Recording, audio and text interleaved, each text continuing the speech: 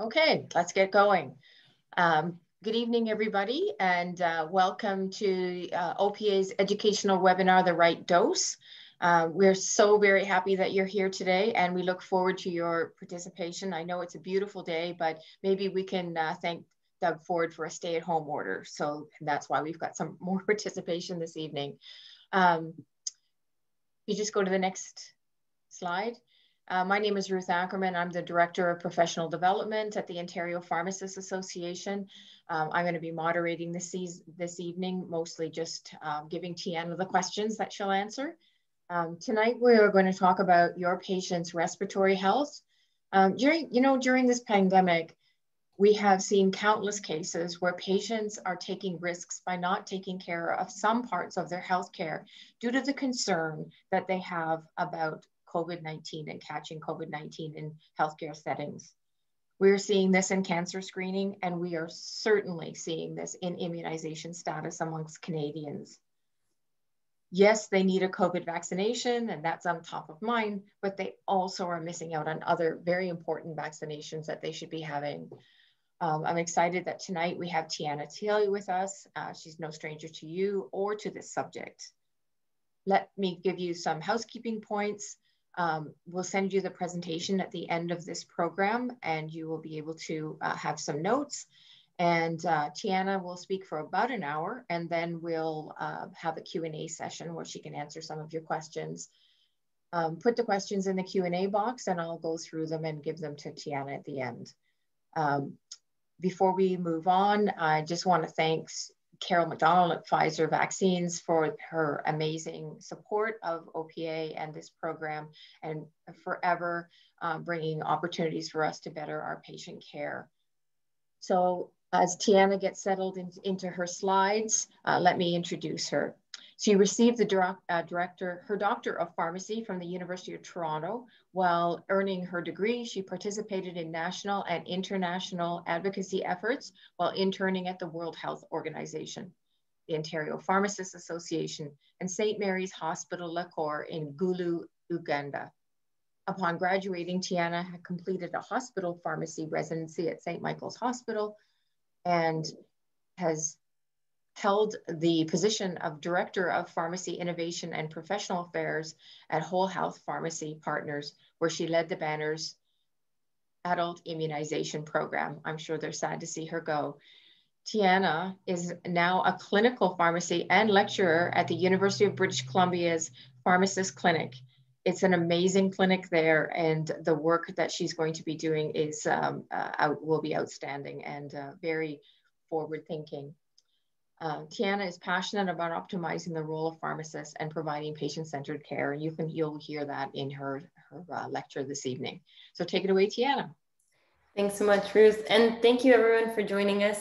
Um, I agree that it's a very nice day outside, so really, really appreciate you joining us today. Um, but I think it just goes to show how much we're trying to do for our patients. Um, and even though there's so much noise going on right now about um, COVID and vaccines and respiratory health. Um, we'll hopefully bring it down today to a level where we're able to interpret that for our patients and really implement um, preventative health measures instead of just waiting um, for COVID vaccines. So I do want to disclose that um, I've received a speaker fee from Pfizer Canada, who does make um, some of the vaccines that we'll be discussing today, um, and also received a speaker fee from the OPA um, to present today's program. So in ter terms of our learning objectives, We'll hope to leave here today with these accomplished. So you'll be able to describe the impact of respiratory health, including pneumonia, on morbidity and mortality of Canadians, outline four populations at risk of pneumonia and how at least two different members of the pharmacy team can identify these patients, describe two ways in which COVID-19 has impacted routine immunization uptake and why ongoing vaccinations is essential, We'll review the National Advisory Committee on Immunization, or NACI, recommendations for timing of vaccine administration, including COVID 19 vaccines in relation to non COVID 19 vaccines. And you'll be able to articulate three evidence-informed approaches to addressing vaccine hesitancy and statements to use in order to do so. So, to set the stage a little bit, we'll talk about respiratory health. And this has obviously been quite in the news recently because of COVID 19. But we know there's more than just COVID that impacts respiratory health for our patients. This includes big categories like chronic conditions, the ones we commonly think of like asthma and COPD, but other ones that put them at risk. So, things like diabetes, heart disease, kidney or liver disease, um, that all goes towards respiratory health. We also have infectious diseases. So, again, thinking of COVID 19, but also existing infectious diseases that have been with us for years, things like pneumonia, influenza, um, that we want to make sure patients are protected against as well. And lastly, we have lifestyle factors. So things like smoking, um, that obviously increases our patients' risk of having issues with their respiratory health. And we need to address that as well. Now, oftentimes this isn't top of mind, but when we look at the impact of respiratory health, two of the top seven leading causes of death in Canada are directly related to respiratory health. So that includes chronic lower respiratory diseases and influenza and pneumonia. And then we see an impact on, from respiratory health on the other leading causes of death as well, things like cancer and heart disease um, coming into play. Now, the good news is that there's a large role for pharmacists in respiratory health. And one of the things that we can do is really promote health through different initiatives. Things like immunizations against pneumonia, influenza, COVID 19, we have a role in chronic disease management, like making sure patients' inhalers um, and adherence is optimized for asthma and COPD. And then addressing those other lifestyle risk factors. So, being involved in smoking cessation. And we won't go too much in depth about the clinical background here. Um, we'll focus on the latest news and really how to make recommendations confidently that patients do accept. But if you want to look back at additional background information, please feel free to view these through the additional OPA modules um, that are available. So there is our past module on optimizing adult immunizations, really maximizing the encounter. We have content on asthma management as well um, and landmark changes here. And lastly, we have smoking cessation. So how to implement smoking cessation services into your pharmacy practice. Now, before we get further into the content, I did want to have an audience poll question. And the first question is Have you accessed any of the OPA's modules on the pharmacist role in respiratory health? So, A would be optimizing adult immunization, B would be asthma management, C, smoking cessation, or D, more than one of the above. And the reason why I'm asking this is just to get a sense of the background knowledge level in terms of um, adult immunization. So the poll is now open. Please feel free to answer and get involved in the, in the module, and then we'll take it away with the actual content.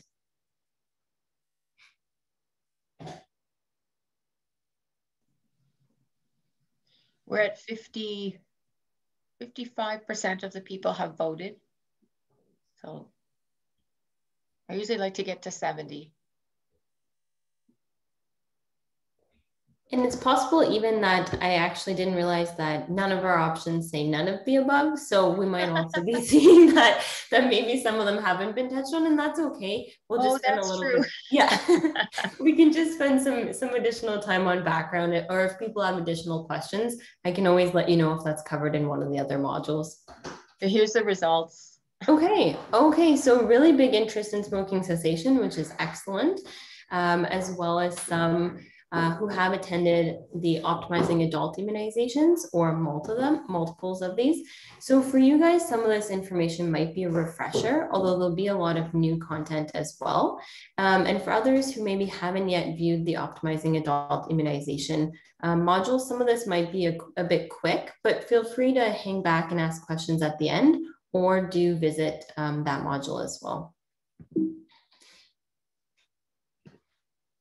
Okay, so we know that pneumonia is in the top seven causes of death in Canada, um, and it's caused by various etiologies. So it can be viral or bacterial, um, and this combination of them is what lands in the top seven causes. Um, the mortality rate is quite high at about 12%, and that increases with age. So when we look at patients who are 80 and above, that's actually closer to about 20%. Um, and when we look at patients who are 65 and older, when they have to be hospitalized for pneumonia, the mortality rate also increases. Um, so it is a concern, even though um, people might not hear about it being talked as much, um, there is a concern on that mortality risk. Even those who do survive do have complications, and that can include things like worsened exercise ability, reduced quality of life, cardiovascular disease, and even cognitive decline. So we want to prevent it as much as possible. And we do have vaccines um, against the bacterial causes of pneumonia, the top cause being Streptococcus pneumoniae. And so that's why we want to make sure everyone is immunized. It also contributes highly to healthcare costs. So, in days where money is getting tighter um, and healthcare capacity is at its um, really stretched to its max, we want to try to prevent additional spending and additional uh, healthcare utilization from something that could be prevented. So looking at patients who are at risk, I like to break it into these different categories to make it easier for me to remember who to engage in conversations with. So the four big buckets that I look at are those with extremes in age. So adults 50 and over with uh, health conditions or adults 65 and older, as well as people who are in uh, chronic care facilities. We then have people with respiratory conditions, so COPD, asthma, or smoking, essentially anyone who you're dispensing an inhaler to for a chronic cause. Uh, chronic conditions, so patients who have diabetes, heart disease, liver, kidney disease. And then lastly, individuals who are immunocompromised. And this can be due to therapy um, with things like biologics, long-term corticosteroids, um, cancer treatment, or it could be due to disease. So underlying conditions like cancer or being HIV positive. Um, those can all put our patients at risk. When we look at recent studies like the LeBlanc paper from 2020, they looked at individuals who are hospitalized with pneumococcal community acquired pneumonia. And what you can see on the slide here is that across the different age ranges, one of the big risk factors for hospitalization from community acquired pneumonia was having one or more comorbidities. So we know that it's not just the extremes in age, it's just as importantly people who have other conditions like the heart disease, like the respiratory conditions, um, like being overweight. Those also put our patients at risk of being hospitalized and having um, mortality from pneumonia. This similarly demonstrates that a lot of the cases are in patients 50 plus. So again, really stressing that it's not just the 65 plus and really trying to reach down into our younger patient populations as well. Now, lastly, I have a slide on how to identify these patients. And I find it really helpful if you talk to the team about what kind of things they can look out for to really trigger that conversation about recommending immunizations. So when we're thinking of the extremes in age, that's when we think of, okay, older adults. That might be people who are newly enrolled in ODB, if they're 65 plus. That could even become um, a part of the pharmacy team's approach. So every person who starts getting coverage at their 65th birthday, and we also talk about uh, immunizations. Um, or if someone's talking about retirement to your front shop staff, um, that could be a great trigger to say, okay, Maybe they're going to be getting older. Maybe they're going to be losing private coverage. Let's make sure they're updated on their vaccines. Then we have recommendations for identifying other chronic health conditions. So if we're looking at things like asthma or COPD, are they buying an inhaler or a spacer? If they have diabetes, is it someone buying insulin or a glucometer or, or test strips? And these are all examples that not only the pharmacist, but the pharmacy technician, assistant, um, students, front shop staff all have a role to play.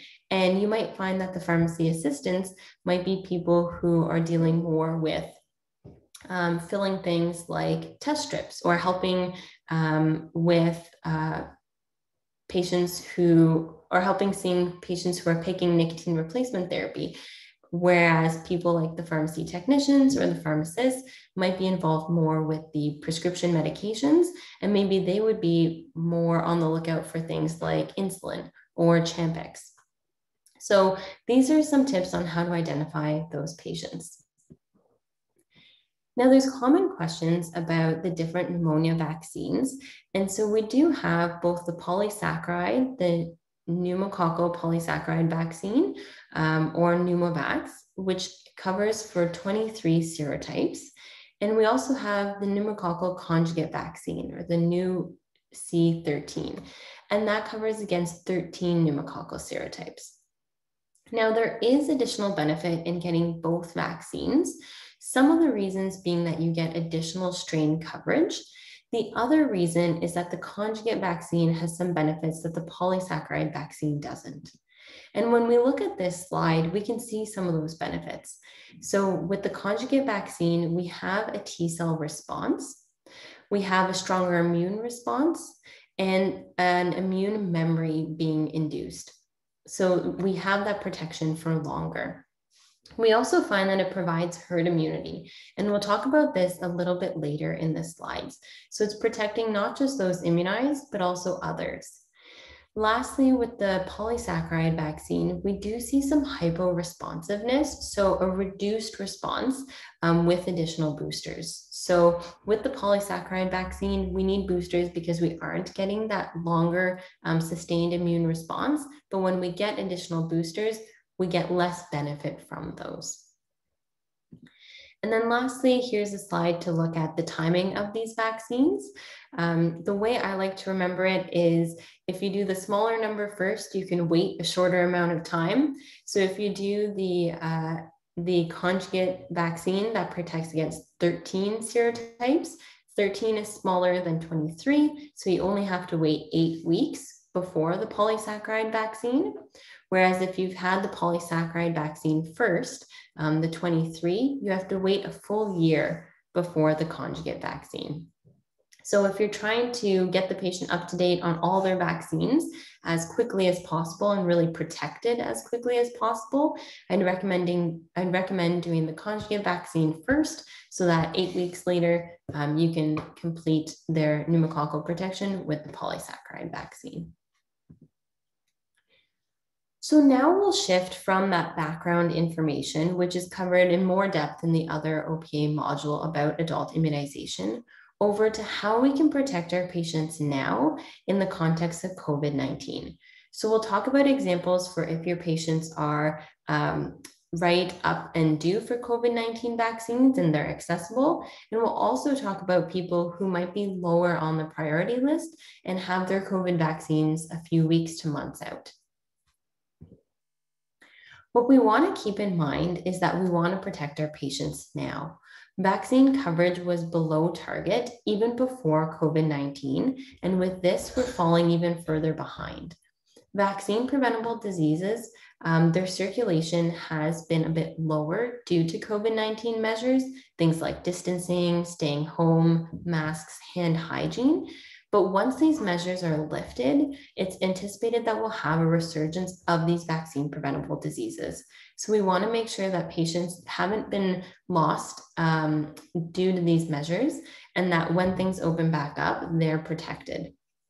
And that's why we want to proactively immunize patients and coordinate it with the vaccine plans for COVID 19.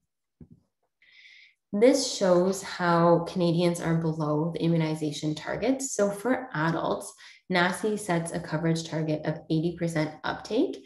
Um, and when we look at a variety of different adult immunizations, we see that we're quite below these targets, especially with pneumonia in the 65 plus population, where we're only at less than 60% of patients who have received at least one dose of a pneumonia vaccine.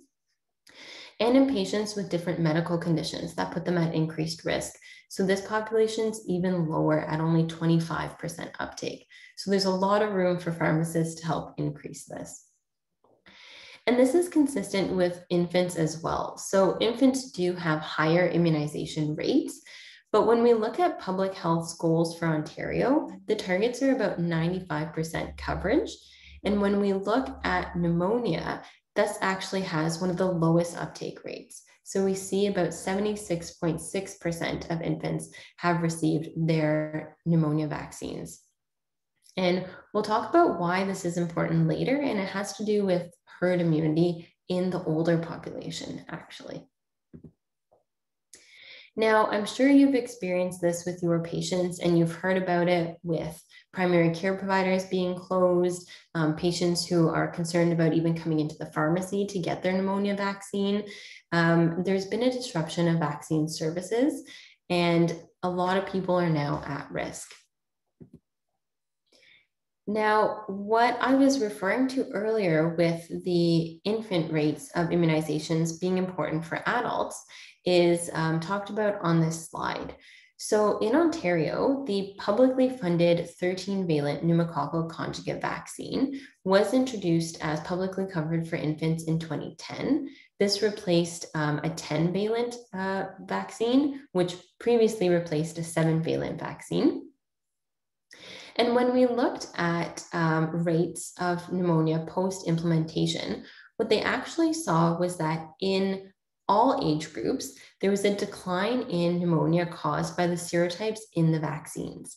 And this was most pronounced in infants less than one year old, those being immunized, as well as in adults 65 plus.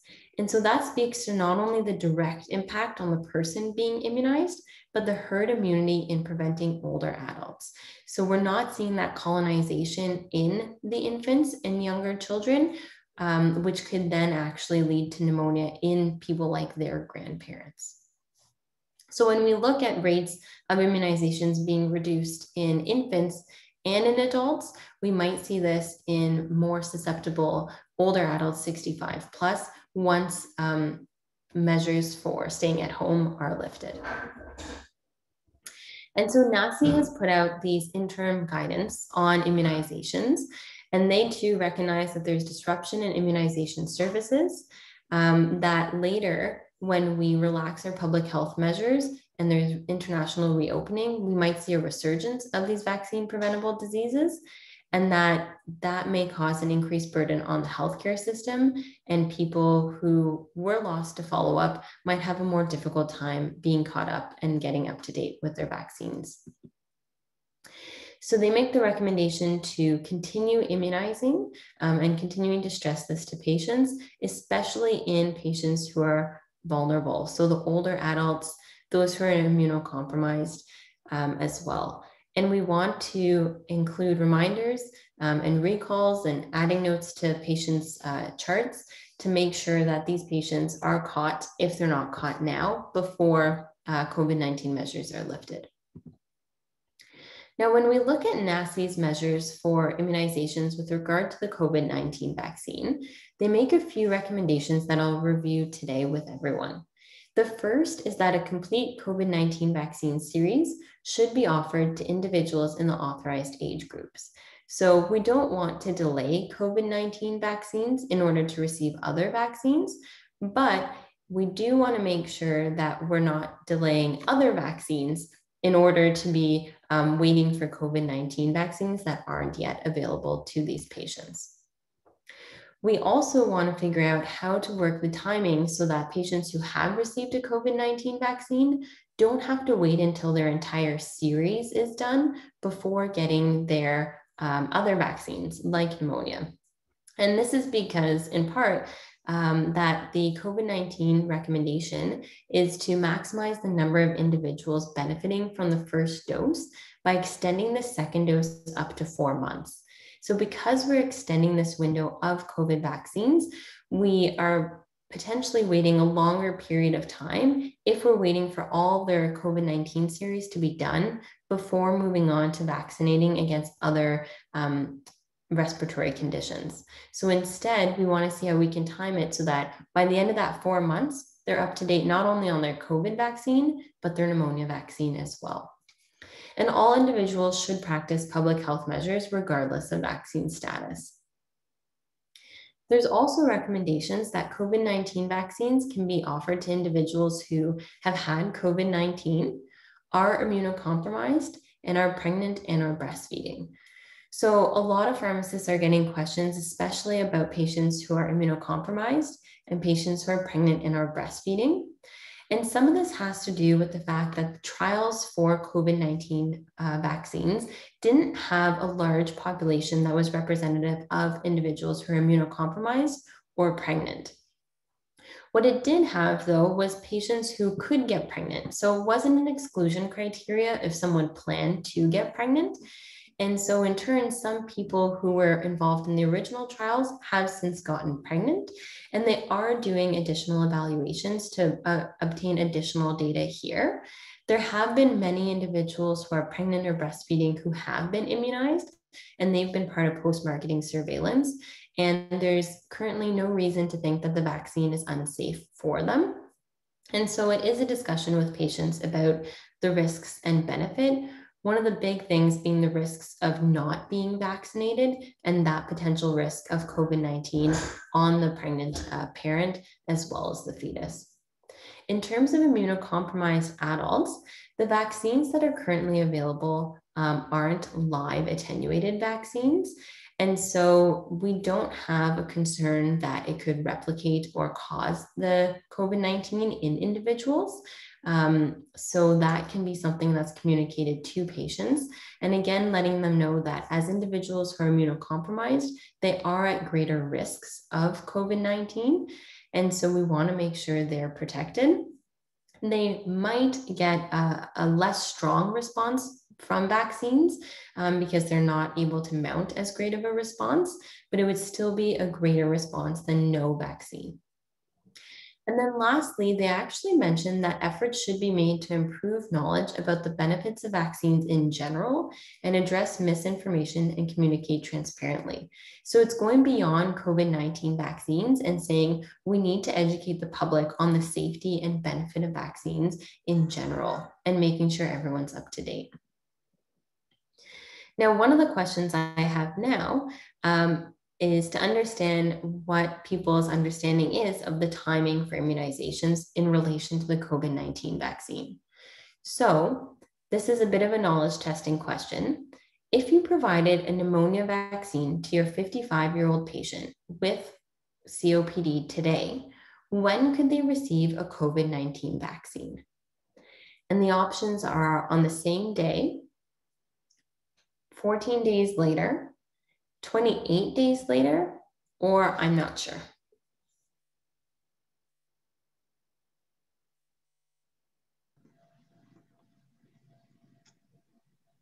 Oh, we've got 80, 85% people voted already.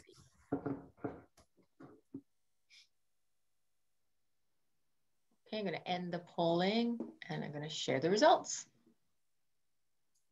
Okay, so the question was if you provided an pneumonia vaccine to your 55 year old patient with COPD today, when could they receive a COVID 19 vaccine?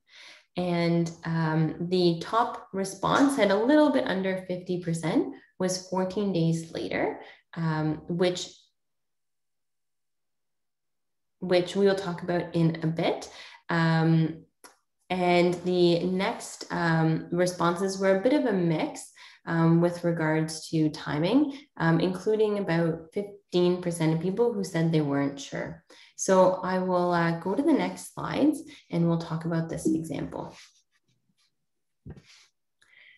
So in general for vaccines, the recommendation is that uh, vaccines can be administered concurrently, whether they're live or inactivated. If they're um, if they're live vaccines, um, you need to wait at least four weeks between vaccines um, if it's not administered on the same day. If they're not live vaccines, they can be administered with any relation to each other. The new exception here, though, is with COVID 19 vaccines. So with COVID-19 vaccines, we don't have as much data. So we're still a bit hesitant and still observing. Right now, the recommendation is that we would not administer a COVID-19 vaccine on the same day as another vaccine. We would wait at least 14 days before a COVID-19 vaccine and at least 28 days after a COVID 19 vaccine in order to give another vaccine. And so this can be a bit difficult to visualize. And so I've put it together on this slide here. So essentially, what we're saying is that if someone receives another vaccine, like a pneumonia vaccine, you want to wait 14 days before their COVID 19 vaccine. And if they've received a COVID 19 vaccine, you want to wait 28 days before another vaccine. And so if your patient received a, um, a COVID-19 vaccine, you would want to wait that 28 days.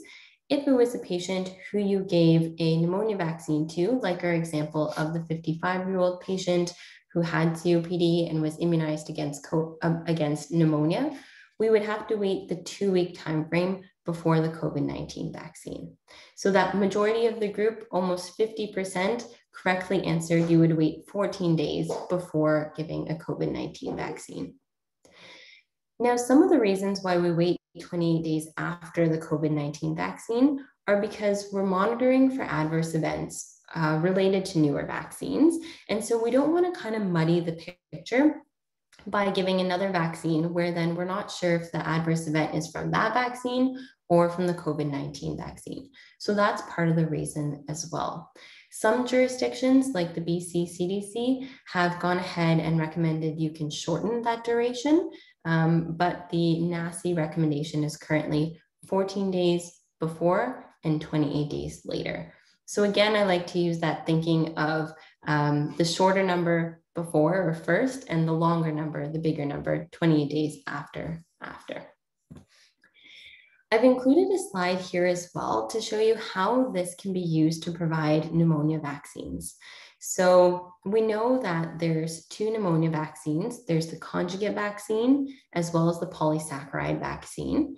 And we want to wait eight weeks between those if we've given the conjugate vaccine before the polysaccharide vaccine. We also have the two doses of COVID 19 to consider.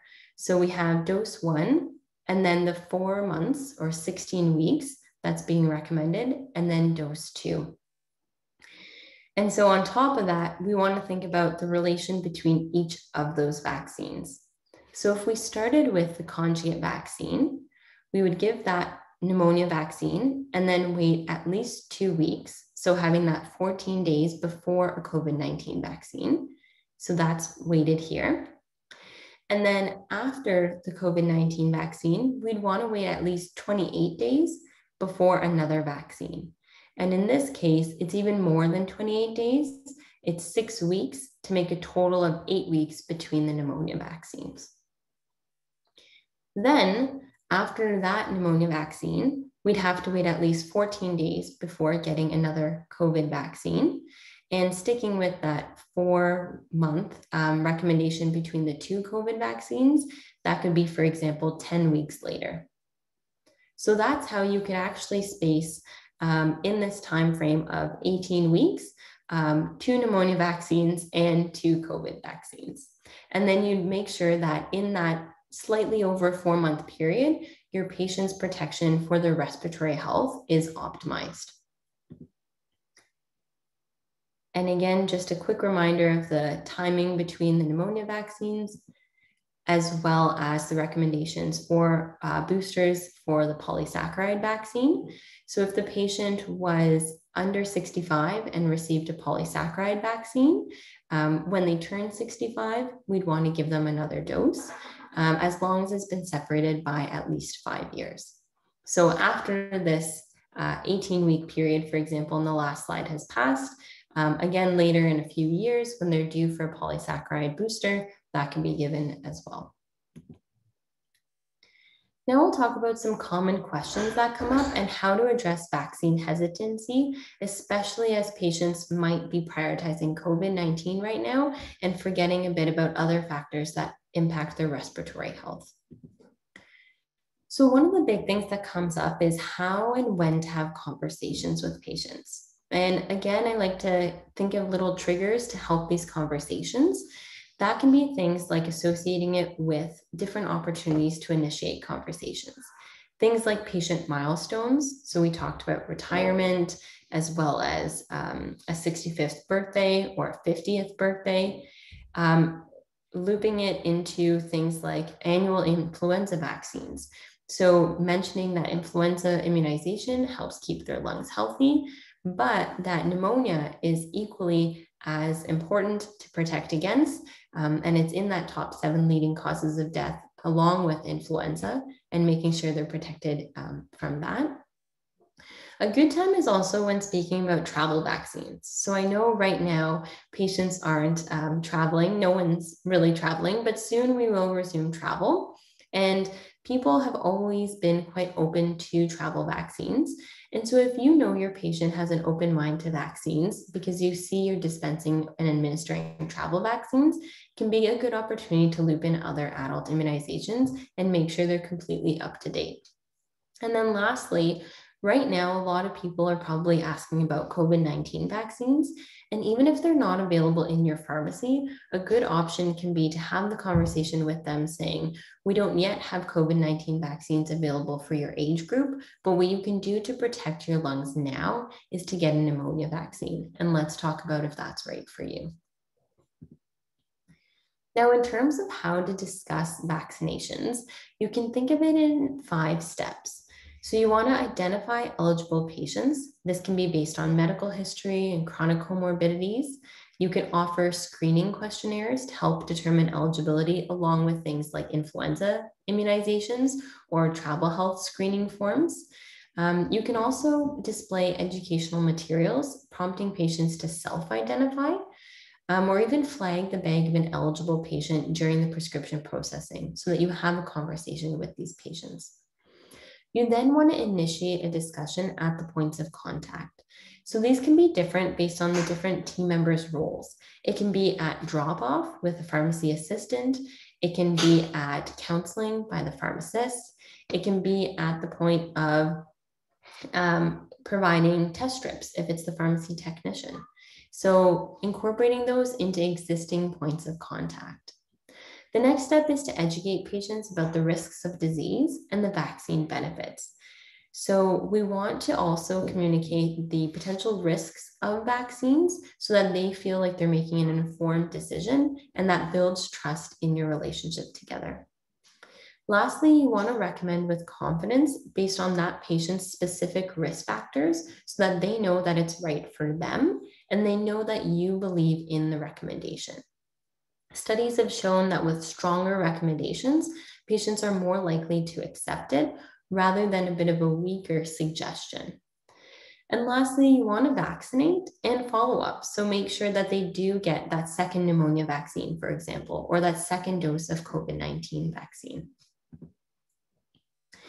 Some tips that have been produced by Canadian family physicians are on this slide, and it's how to use evidence based approaches to recommending vaccines. So, the first one, which is really big, is using a presumptive approach. So, saying things like, you're due for two vaccines today, let's get you vaccinated to keep you healthy. And this is in contrast to saying something like, oh, you're due for vaccines today. Would you like to get vaccinated or would you like me to contact your physician for a prescription? So, really making a force, um, uh, sorry, not forceful, but a presumptive approach where you're encouraging them um, to get vaccinated by kind of assuming that they'd like to get vaccinated, and they can tell you otherwise if that's not the case. Next, you want to address concerns and make a strong recommendation. So you can say things like, I strongly recommend you receive these vaccines today, or these shots are very important for protecting you against serious diseases. And so, one of the reasons why we take this approach is that a common reason for patients saying they're not up to date on vaccines is that no healthcare provider made a recommendation to them, or they didn't realize that these vaccine preventable diseases were serious conditions. So, you can talk to them about the benefits of these vaccines, the fact that vaccines work, that serious diseases can occur if not immunized. And you can pull from those points we talked about, about the mortality risk associated with pneumonia, and even the risks of the long term complications if they're not as concerned about dying from pneumonia, for example. Lastly, you want to take an honest approach with them and describe side effects.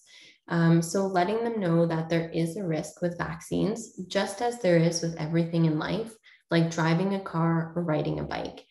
And one of the reasons why we want to do this is that if we say things like there's no risk of side effects or it won't hurt at all, um, that can impact the trust they have with you if they do, in fact, experience side effects and the needle does hurt a little bit. So, by preparing people for this, they're be better able to be prepared mentally and have that ongoing trusting relationship with you.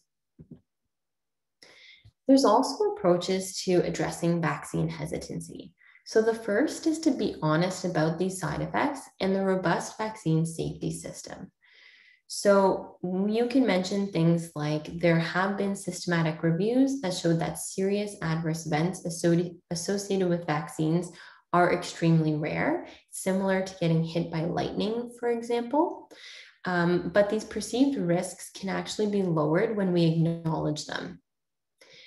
We can also let them know that the Canadian vaccine safety system is quite robust. It's an eight component system, and there are many randomized control trials that have gone towards ensuring vaccines are safe before they're approved, um, and that there's also a post marketing surveillance that's ongoing. So, this is true for COVID 19 vaccines as well as other vaccines.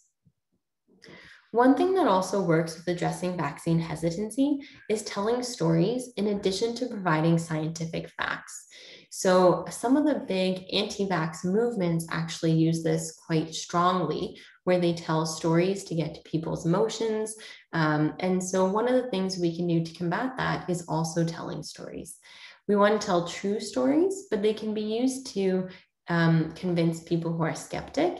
And you can make personal statements. So things like, I've been vaccinated against pneumonia, or I've received my COVID 19 vaccine. I made sure that my parents received their pneumonia vaccines. Um, or I recommend this to all my patients, um, and they found that the side effects were quite manageable. Things like that. You also want to build trust by making the patient feel like they've been listened to and that you tailored your answers and responses to their specific concerns and their specific risk factors. So it might be finding time in something like a medication review where you have five minutes to dedicate to this conversation um, and really making sure that everything is tailored to them. And lastly, it's been beneficial to focus on protection. So, really driving home that it's not just COVID 19 that impacts respiratory health, but that vaccine preventable diseases like pneumonia are quite serious um, and that this should be addressed through immunizations. Now, I think going through a bit of an exercise might help with responding to questions you might get from patients. And so I've put some common questions that I get here on this slide. And before showing some potential answers, I'll just give you a minute to think about what you could actually respond to a patient. It's helpful to kind of come up with these responses in advance so that you're not caught off guard and you're able to make a confident um, answer to patients. So the first question um, is, is the vaccine safe? And the next question is, I'm up to date on my immunizations. So less of a question and more of a statement, but what would you do if a patient said this to you when you tried to engage with them about being immunized? and you can feel free to put it in the in the chat box or you can even think it to yourself. And in about a minute we'll just go over some um, examples on how to respond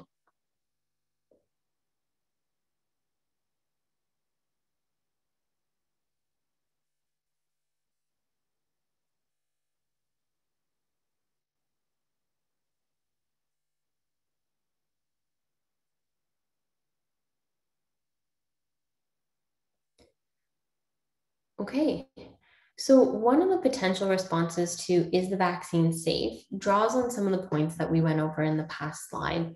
So you can say things like Canada has one of the most robust vaccine approval processes. Vaccines go through trials on thousands of individuals before approval, and surveillance is ongoing once they're on the market. The most common side effects are injection site redness, soreness, and pain, or feeling unwell for a couple of days. I'm confident in vaccine safety and want to make sure that you get vaccinated. Is there a specific safety concern you have? And so this uses those evidence based approaches. It makes that strong, confident recommendation. It tailors the response to that specific patient by asking if they have certain safety concerns. It has a truthful approach to the common side effects that might be experienced. And it also speaks to providing information on the safety that vaccines um, have. The next question is more of that statement if a patient just tells you, um, I don't need to be vaccinated because I'm up to date on my immunizations. And because we know that there's a lot of patients who actually aren't immunized or think they're immunized but may not actually be up to date, um, we want to still engage in conversation with these patients and do a check with them. So you can respond saying something like, that's wonderful to hear. Um, let's take a couple of minutes to review the vaccines recommended for adults for your age and with your health condition to update your file so we can reach out when you're due for any others.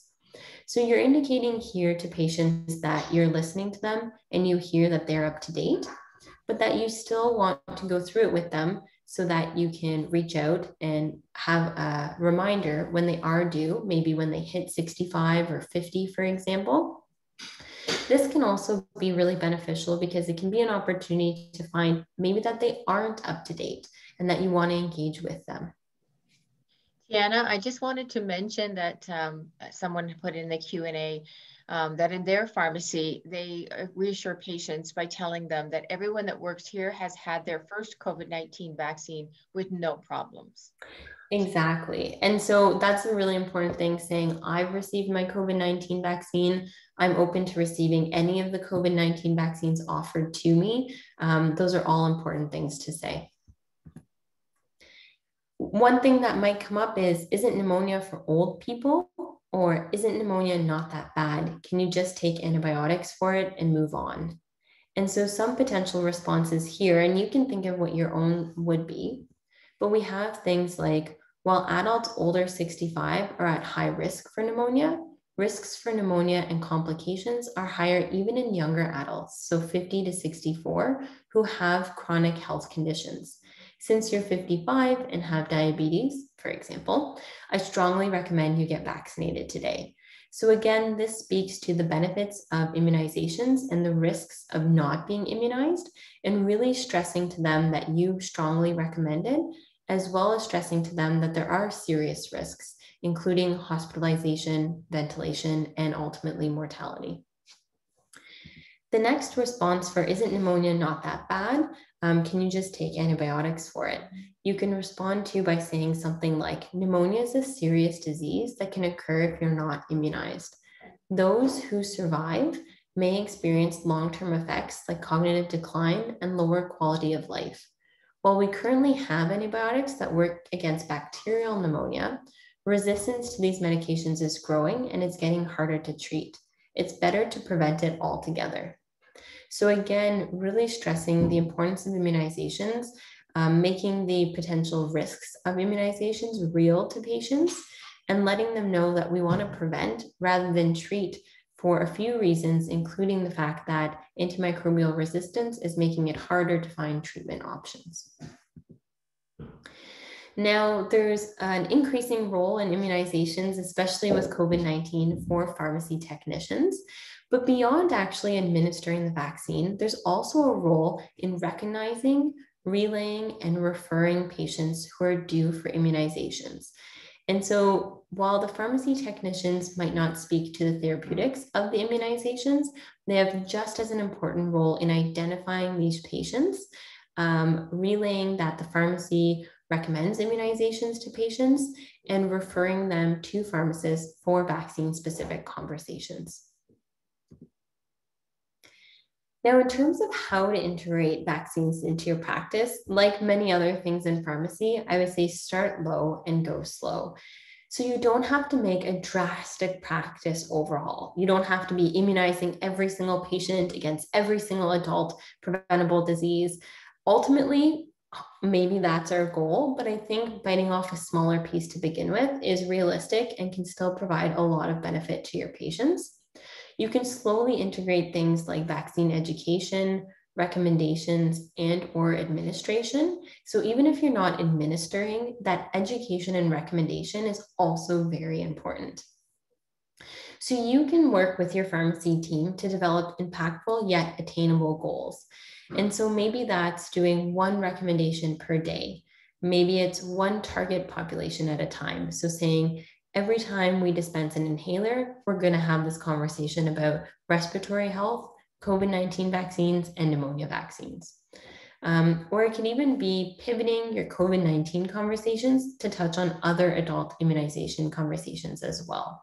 So, saying something like, we're currently accepting for our waitlist for COVID 19 vaccines, but what we can get you today is a pneumonia vaccine to help protect your lungs while you're waiting. And I have a case example to go through a few of these points.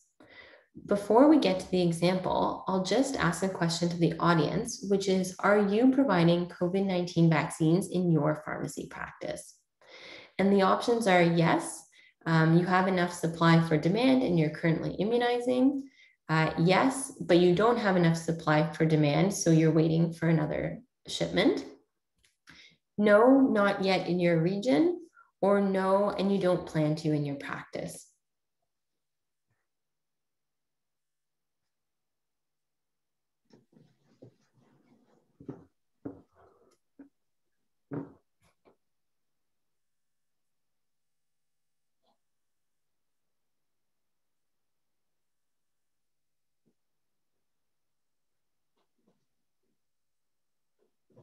We have 50%, Tiana. Okay. And some people might be undecided too.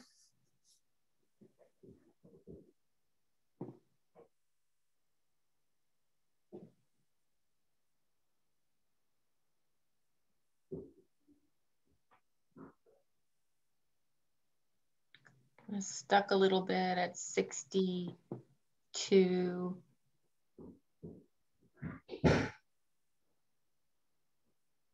Okay, let's just, I'll share the results. Sure.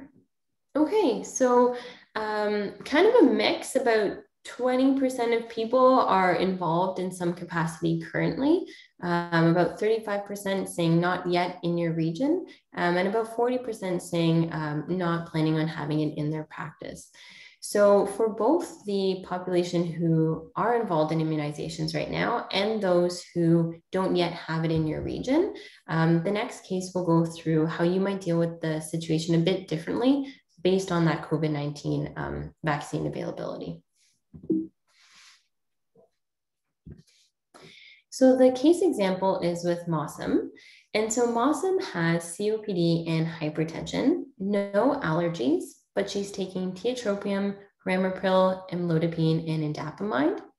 She currently smokes about half a pack of cigarettes daily, and she comes into your community pharmacy picking up a prescription um, for Champix starter pack and buying nicotine replacement therapy, the patch, and the gum.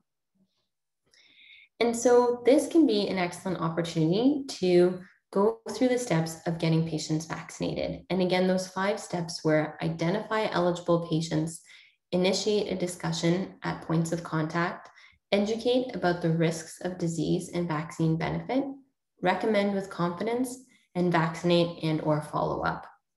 So for that first step of identify and initiate, all pharmacy team members have a role. And in Mossam's case, there's different members who might identify her at, as being at risk of um, a respiratory infection like COVID and pneumonia because of different reasons.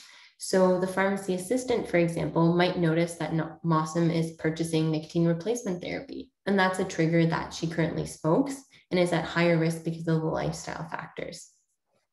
The pharmacy technician, when processing the prescription, might notice Mossam's age and know that patients who are older, um, 50 plus with other health conditions, are at increased risk of COVID 19 and pneumonia. And the pharmacist, for example, when counseling, um, might be speaking to the patient and notice that they have asthma or COPD um, and that they use these inhalers. And so they're at risk because of those health conditions.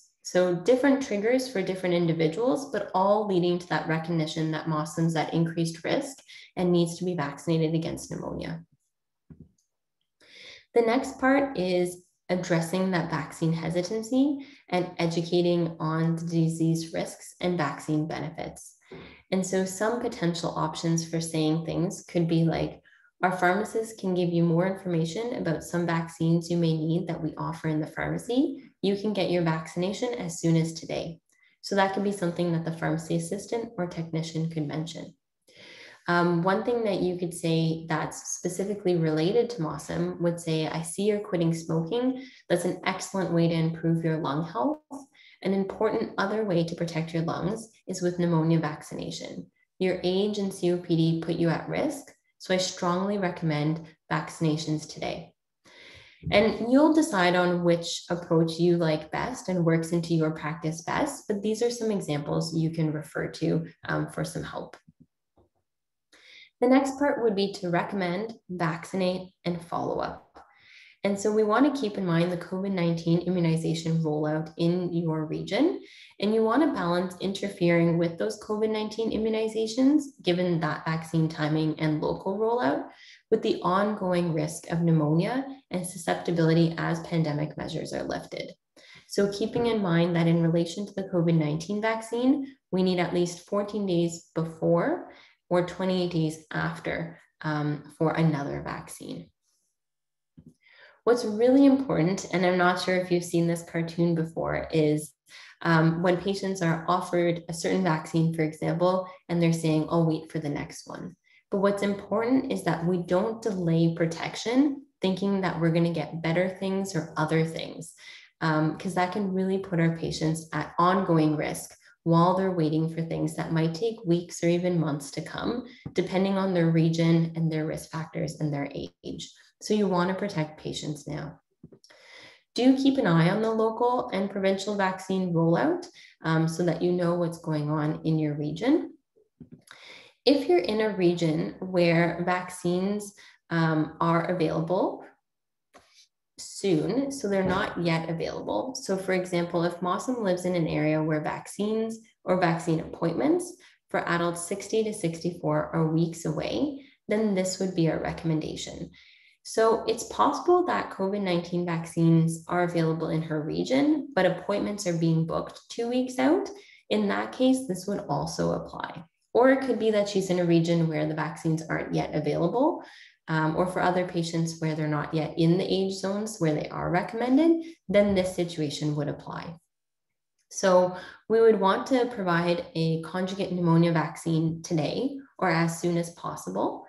And then at least 14 days would pass before their COVID 19 dose. So, again, if they're booking two weeks out, it's a perfect opportunity to give a conjugate pneumonia vaccine now and start that protection um, for the lungs instead of waiting for that vaccine to be available. And then we want to wait um, at least 28 days after the COVID 19 vaccine to get another immunization, like the polysaccharide vaccine, where we would wait at least another six weeks so that the total period between the pneumonia vaccines is eight weeks. And then again, after that polysaccharide vaccine, we want to wait at least um, 14 days before the COVID 19 vaccine.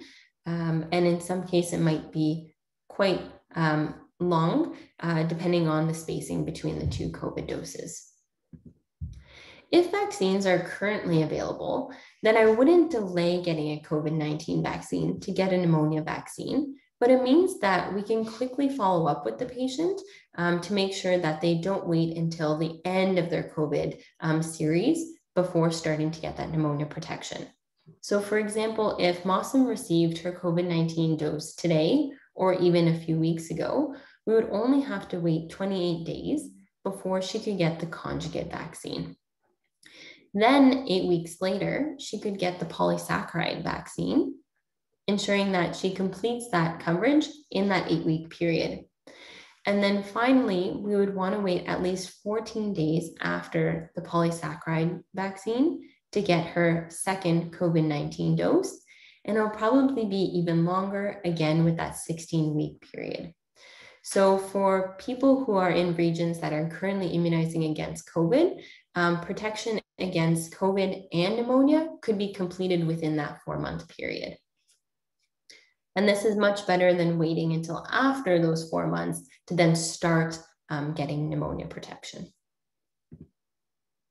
So in this example, the pharmacy assistant, technician, and the pharmacist identify that Mossam's at risk of pneumonia and start the vaccine conversation.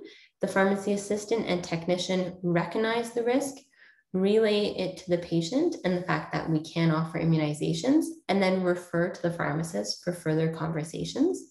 The pharmacist uses that presumptive language saying, You're due for vaccines. Let's get you a pneumonia vaccine today, and makes that strong recommendation. So, I've been immunized against pneumonia. I've been immunized against COVID 19. I strongly recommend that you do that because you're at risk um, because of your other health conditions like COVID, uh, like uh, COPD. The local public health unit and community pharmacies um, are booking COVID 19 vaccine appointments in two weeks for adults 55 plus in the case of Mossam City. So, to protect Mossam now, the pharmacist immunizes her against pneumococcal disease today with a conjugate pneumococcal vaccine. And in 14 days, she'll be eligible to receive her COVID 19 dose once it's available. The pharmacist then provides an update to Mossam's nurse practitioner and recommends that the nurse practitioner provide Mossam with publicly funded polysaccharide vaccine in eight weeks, spacing it from the COVID 19 vaccine by a minimum of 14 days before or 28 days after.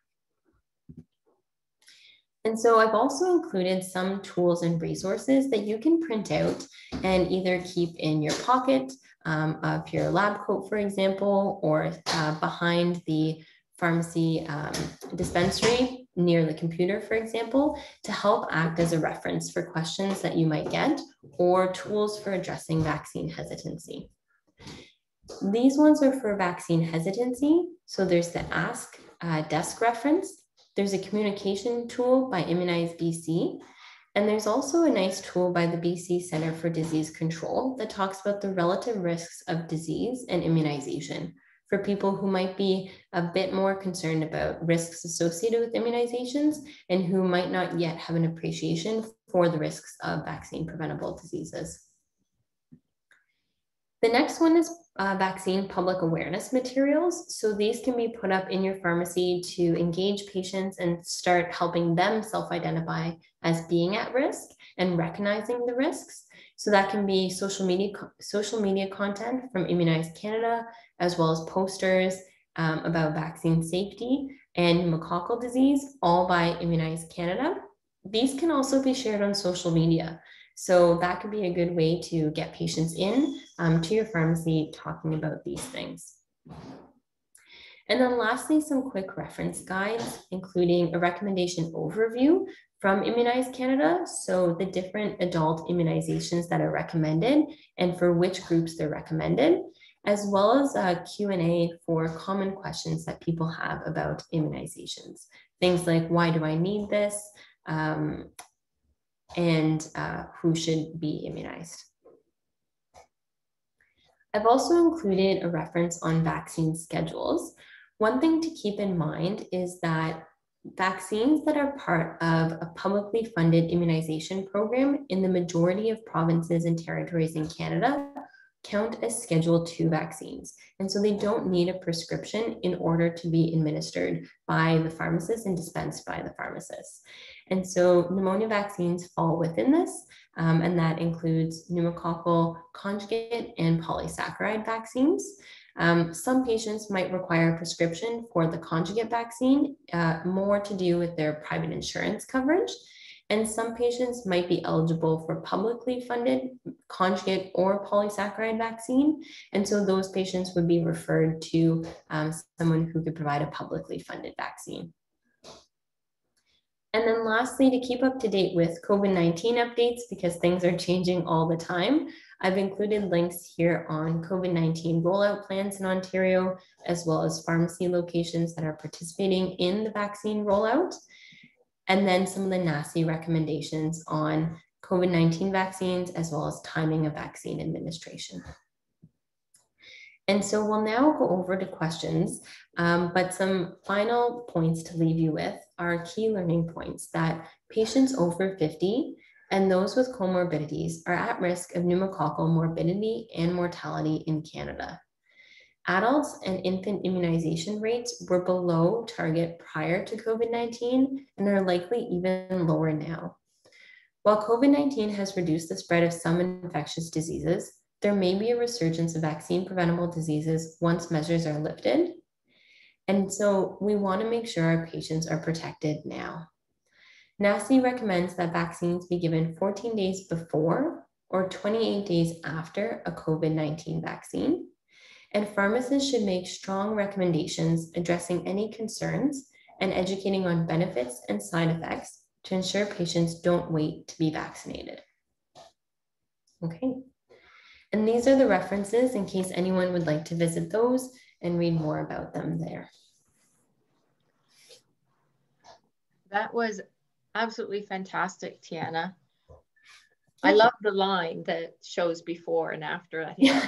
it's so hard to keep straight. I honestly, I just have to print that out and keep it with me, or else I always can't keep it straight. So hopefully, um, others can print it out as well if you'd like, because um, it'll help with the timing not only of the COVID 19 vaccines and pneumonia vaccines, um, but even the timing between pneumococcal vaccines um, themselves. Exactly.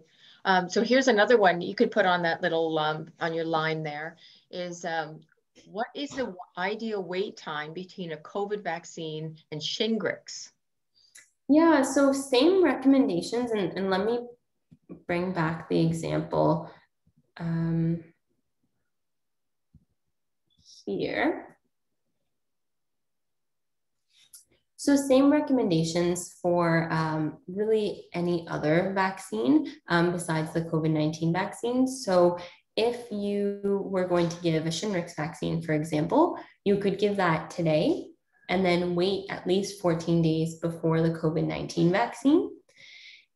And then wait at least 28 days before um, another Shingrix dose, which we know we're waiting a longer period of time anyways because of the timing between the Shingrix doses themselves. But as long as it's been at least 28 days, um, you can give that second Shingrix dose. Similarly, if the patient has received the COVID 19 vaccine or is about to imminently, you would want to wait at least 28 days, and then you could do that first Shingrix dose.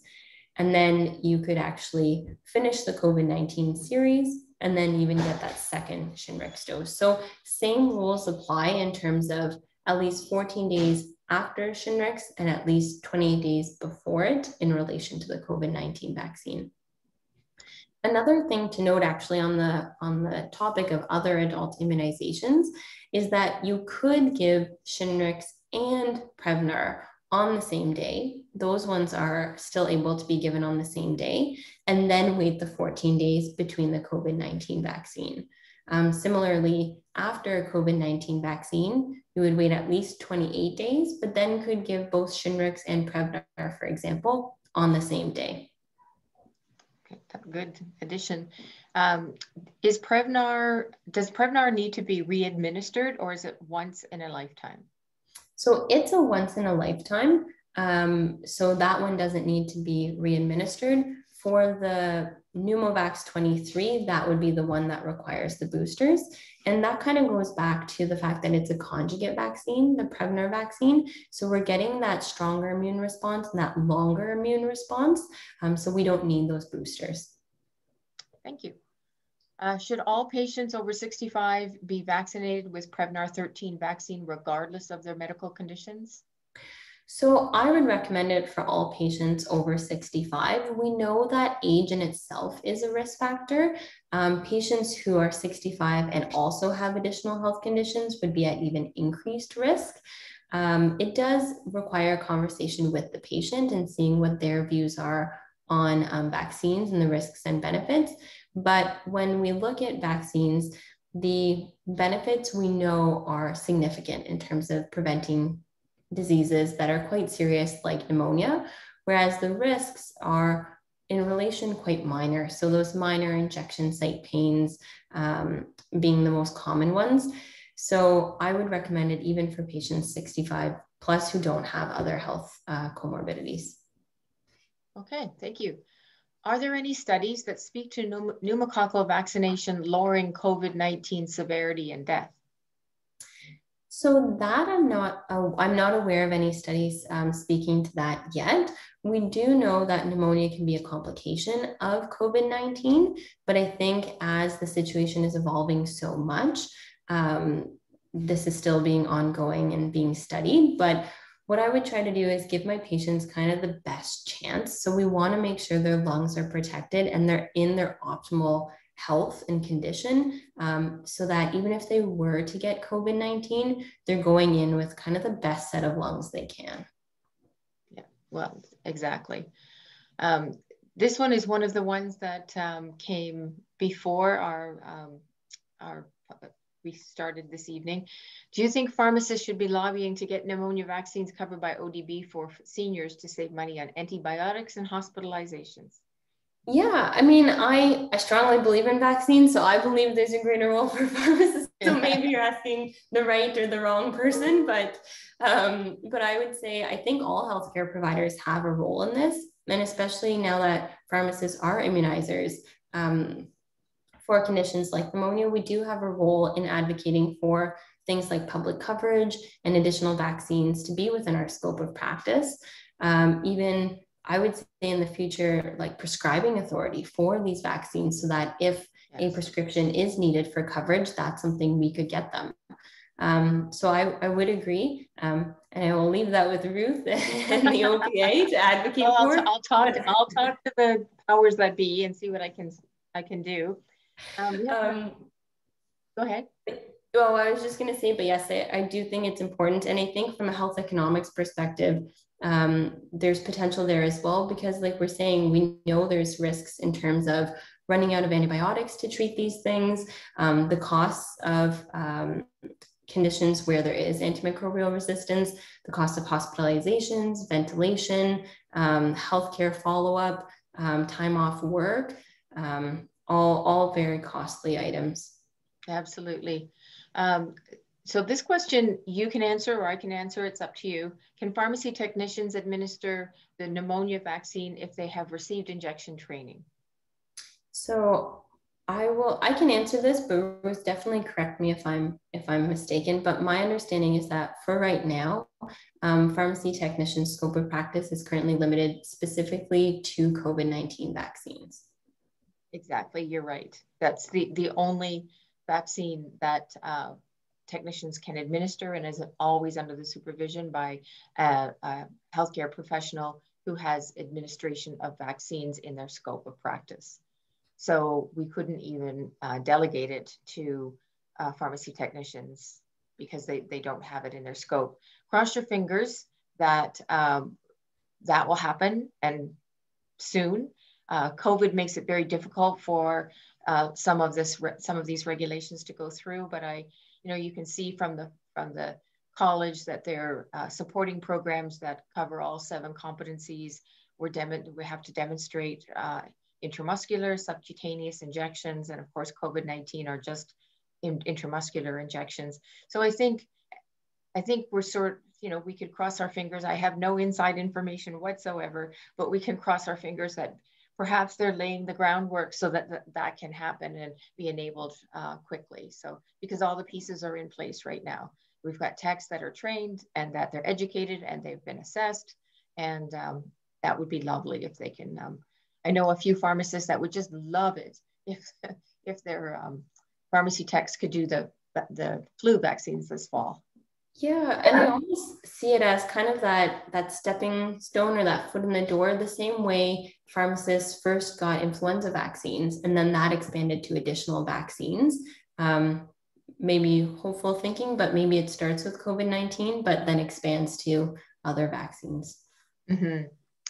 Uh, we do have someone. This is a tiny bit off topic, but it is about vaccinations and, and you know, it's something that's swirling around a lot is um, just some comment com commentary about the coagulation risk with the AZ vaccine. I know a lot of people are concerned and there's been conflicting uh, answers. So if you if you're up to date on that, maybe you could share that information. Yeah, so I I won't speak too much to it, just to keep the focus more on um, on timing of vaccines and addressing kind of pneumococcal vaccines. Um, but I do think it's it's almost like a moving target right now. Um, so the information changes all the time. I would tell patients that there is um, strong uh, data that was required in order for the vaccines to become um, approved and to use them, and that we still have confidence in the vaccine approval process and in COVID 19 vaccines in general. Um, I would say same thing, like I have received a COVID 19 vaccine and it was whichever vaccine was offered to me.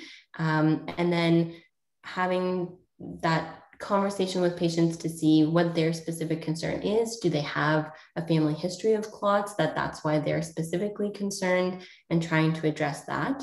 Um, and then reminding them of that ongoing risk of COVID 19. So, are they more likely to have that clotting incident or to have COVID 19? And really speaking to the fact that COVID 19 can also increase your clotting risk. They're seeing really high rates of strokes in patients who have had COVID 19. Um, so trying to have that balanced conversation with them. Yeah, it's a it's a tough situation. It's uh, there's uh, so much information, and every single piece is just blown right out. And you know, I think in my opinion is is that people just they don't understand what they hear but they hear a bunch of stuff and it just sounds like that's controversial. I don't hear controversial stuff elsewhere but you can't like you're making a huge decision that that the risk of what you think of a very small risk is is is balanced off against a huge risk of getting covid. And so we have to we have to always consider that there are certain groups that they're they're not recommending the AZ vaccine to, and and that's fine. But there's lots of others. It's so certainly a safe safe vaccine, and it's like that with everybody. It's it's like that with all vaccines. It's that decision about the risk of one thing versus the risk of something else, and you'd have to balance the two out. Um, well, Tiana, I think uh, that's the end of our questions, and uh, I want to thank you very much for your presentation. Um, again, you will receive the presentation in a backup email that will come out after this. There's a survey. I really like it if you could fill out the survey. That's much, much, much appreciated. The recording of this evening's event is going to be posted on our website. All of the right doses are, are put on our OPA Today website. You can see it at any, any time. Um, and uh, I also want to thank very much um, from McDonald at uh, Pfizer Canada for her support of this and ongoing support of let's get out there and get people safe from pneumococcal in addition to COVID. So, so I want everyone to have a great evening and to uh, and appreciate your attendance this evening. Thank you so much.